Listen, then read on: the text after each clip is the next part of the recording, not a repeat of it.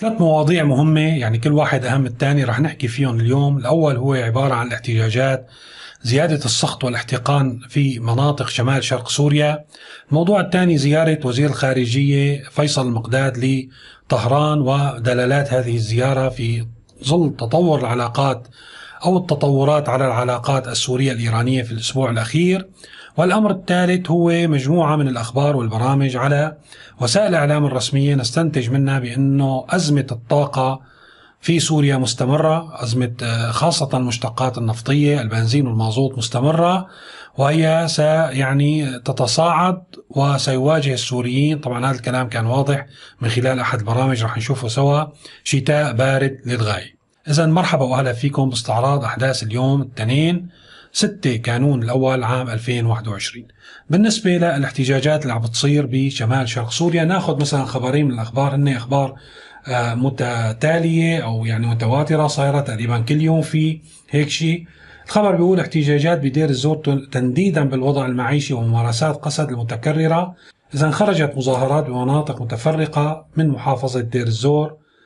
واقعة تحت سيطرة قوات سوريا الديمقراطية احتجاجا على الوضع المعيشي والممارسات التي تقوم بها قسد من اعتداءات واعتقالات. الخبر الثاني يعني صار في شكل آخر لهذه الاحتجاجات وهو يعني موضوع جديد ولافت بأنه بمدينة الدرباسية بريف الحسكة تم توزيع منشورات ضد وجود قسد هذه المنشورات بتقول بعبارة واحدة باللغة الكردية والعربية أنه حان وقت المحاسبة.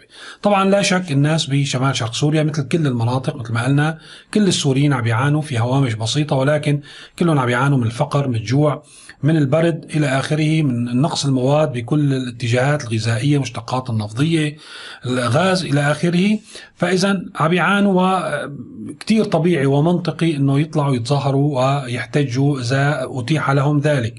وبالتالي من يومين كنا حكينا أنه في اقتباس من رواية راجعناها مع بعض لأغاثا كريستي في اقتباس بيقول أنه إشعال النار في الحطب أسهل بكثير من إشعاله في الأرض الخضراء والأعواد اللينة وهذا حقيقي. آه نحن ما بدنا نقول إنه في حدا عم يحرض لا شك إنه آه كل الناس عندها مو بس رغبة رغبة مكبوتة وهن طبعا تأخروا بيخافوا من الظروف الأمنية. لو بينفتح المجال للسوريين كانوا ناموا بالشوارع ثلاث أربع شهور يعني بدون ما يرجعوا على بيوتهم. ولكن آه، يعني آه، ممكن أن يكون هناك طرف يستثمر في هذه الاحتجاجات بشكل أو بآخر ليشكل ضغوط إضافية على قوات سوريا الديمقراطية لتفكيك بعض الملفات المتشابكة والمصالح المتشابكة. اليوم في كثير يطلب من قوات سوريا الديمقراطية من كل الأطراف من الأمريكان من النظام السوري من تركيا. فإذا ممكن أيضا أن تكون هذه الاحتجاجات المحقة والحقيقية واللي ناتجة عن عوز ويعني حالة صعبة للغاية. أن يستثمر بها طرف من الأطراف لزيادة الضغط على قوات سوريا الديمقراطية. طبعا هذا الموضوع أكثر شيء يعني ممكن آه، آه، نرجح أنه في هيك سيناريو من خلال توزيع المنشورات بمدينة الدرباسية مثل ما حكينا. ممكن يكون يعني على فكرة من أحزاب آه، يعني كردية منافسة على سبيل المثال. ولكن هناك يد برأيي تحاول أن تستثمر في غضب الناس ويعني حالة الاعتقاد الموجودة عندهم. الموضوع الثاني اللي بدنا نحكي فيه اليوم هو موضوع العلاقات السورية الإيرانية زيارة فيصل المقداد وزير الخارجية إلى طهران. وهذا اجى بعد يعني سلسلة من التطورات. شفنا بعد زيارة وزير الخارجية الإماراتي إلى دمشق. صار في انتفاضة إيرانية في دمشق وفود زارت دمشق اقتصادية إلى طابع اقتصادي وقعت اتفاقيات وعملت اجتماعات بغرفة الصناعة وزاره الاقتصاد. فتحوا مركز تجاري إيراني في دمشق وأعلنوا عن آه، إقامة بنك إيراني سوري مشترك معرض للمنتجات الإيرانية. فإذا آه، هناك يعني وكأنهم يقولوا هذه دمشق لنا ونحن أصحاب القرار فيها هي كانت الرسالة. شفنا في تسجيل سابق آه، يوم السبت كيف أن محلل يعني مرتبط بحزب الله تجرأ على النظام السوري ووصفه بناقص الشجاعة وبأن عليه أن يتمثل ب حسن نصر الله في الرد على إسرائيل والاعتداءات الإسرائيلية بقصف بالمثل لاهداف في الجولان، هلا بالنسبة للتصريح الأخير ممكن الواحد يقول هذا يعني هو رأي شخصي أو تجاوز شخصي من هذا المحلل على الموقف الإيراني أو موقف حزب الله من النظام السوري، ولكن لما بيتكرر نفس السؤال من قبل مراسل العالم في المؤتمر الصحفي بحضور وزير الخارجية الإيراني بنفس السياق يتم توجيه الكلام إلى فيصل مقداد. بيكون الموضوع مؤكد أنه في سياسة عامة لإيران بهذا الخصوص. أنا أقول أنا أقول لك الرد. الرد يحتاج إلى بعض الشجاعة. بنفس الشجاعة التي قام بها السيد حسن نصر الله بجلب مواد الطاقة من خارج لبنان عبر البحر الأحمر إلى البحر المتوسط نفس هذه الشجاعة مطلوبة لكسر هيبة العدو الإسرائيلي.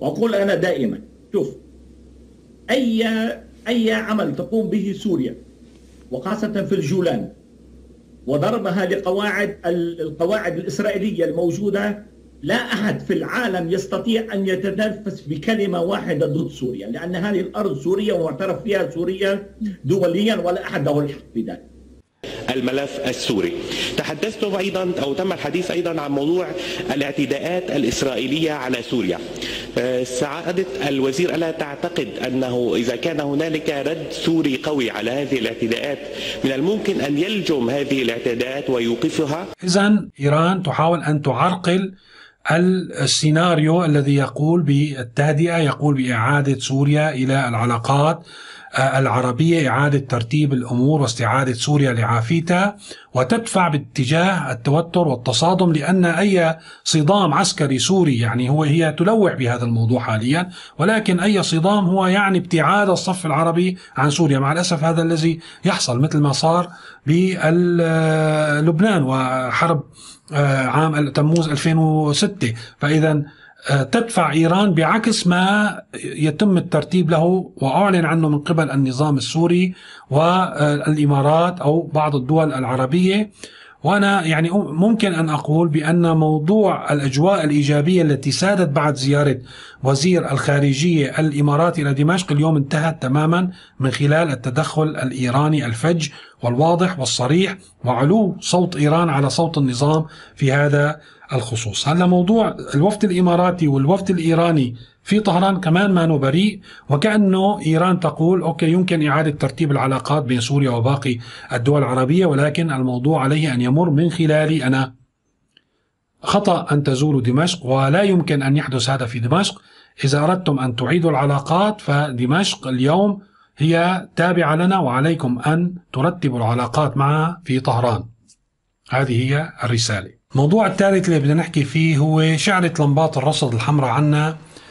انذار لأزمة أو تأزيم أزمة موجودة أساسا هي أزمة المشتقات النفطية البنزين والمازوت.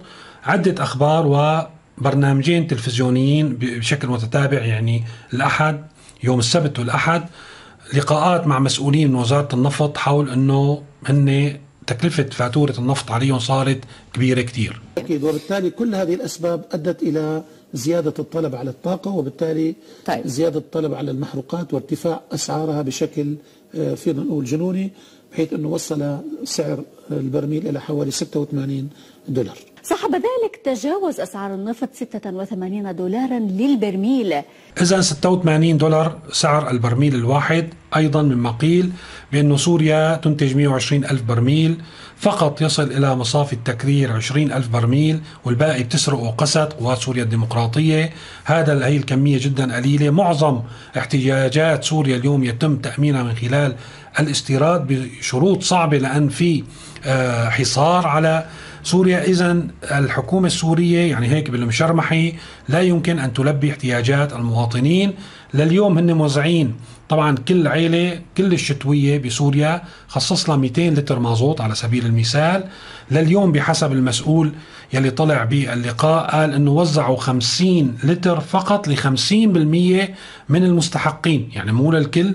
فاذا ما راح ياخذوا السوريين هذا بالمختصر ال 200 لتر ليش ما راح ياخذوه لأن الحقيقة لازم يختاروا بين أمرين. مادة المازوت مثلا وهي أكثر المادة. هلا هناك أولويات في التوزيع. يعني مثلا الأفران توزع لها 100% لا يوجد أي نقص نهائيا. لا يوجد فرن في سوريا متوقف أو يتوقف بسبب نقص المازوت. هذا قولا واحدا. عندنا المشافي كمان لها الأولوية القطاع العام له الأولوية. فالأولويات آه، كلها منفذة بشكل 100% في عندنا مثلا القطاعات الأخرى الشتاء كمان أولوية بالنسبة للمواطن قلت لك في قطاعات أخرى. هلأ مثلا بيبقى الافران أولوية أكثر من التدفئة. يعني أنا الافران أنا يعني ما معقول أنا فرن يكون متوقف بسبب نقص في مادة المازون بالنسبة للتدفئه التدفئة هل, هل هل أفهم منك إنه نحن في هذه المرحلة بنوع من المفاضلة بين الأهم يعني أو موضوع الاختيار الأهم اذا لازم نختار بين البرد والجوع. ما ممكن الدولة تأمن مشتقات نفطية لحتى ناكل ونتدفى فإذا نحن هن اختاروا عنا أنه يأمنوا لنا لقمة الخبز أو لقمة العيش وبدنا ندبر حالنا مع الأسف بموضوع البرد طبعا أيضا كان في لقاءات وحديث حول موضوع البنزين وتأخر الرسائل. أيضا أتوقع أن يكون هناك أزمة يعني على التوازي في موضوع البنزين كما في كل المواد. يعني هذا الموضوع حكينا فيه موضوع رفع الدعم.